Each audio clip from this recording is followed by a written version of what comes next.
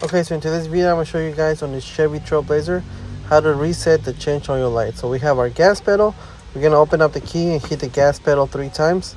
After that, the light's gonna go off.